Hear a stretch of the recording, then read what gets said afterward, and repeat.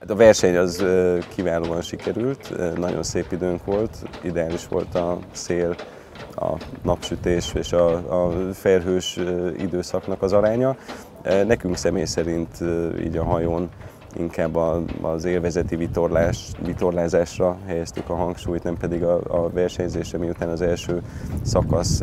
egyik pontjánál egy kisebb baleset ért bennünket de nagyon jó volt a hangulat, és mindenképpen azt gondoljuk, hogy jövőre egy még nagyobb csapattal, vagy akár több hajóval is jelen leszünk.